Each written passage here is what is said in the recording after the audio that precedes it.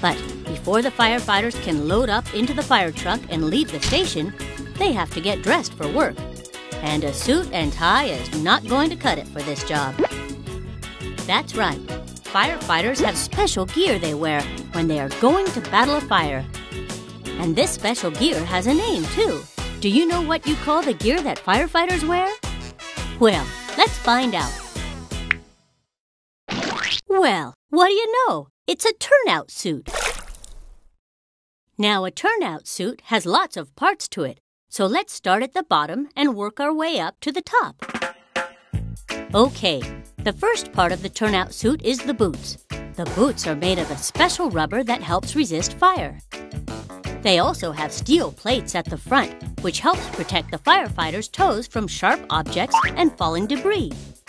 Once they get their feet into the boots, it's time for the pants.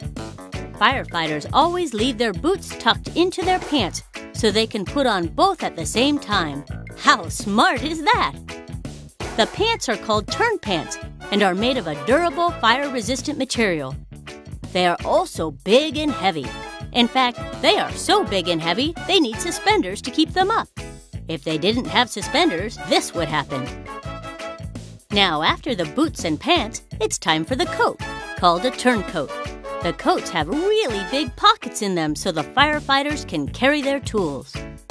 They also have a reflective trim, making it easier to see firefighters when in the dark. Okay, we're almost dressed. After the boots, pants, and coat, it's time for the self contained breathing apparatus. Wow, that's a mouthful. We can also call it an air tank. The air tank has a face mask that goes over, what else? The face. This is connected to the tank of air that is worn on the back. This little setup allows firefighters to keep breathing when in smoke filled rooms. Alrighty, after the boots, pants, coat, and air tank comes the helmet. This is incredibly important because it protects their head. That's right, the cranium, the noggin, the old noodle. The helmet is made of a heat resistant material and has a wide rim to help protect the face and neck from heat flashes and falling objects.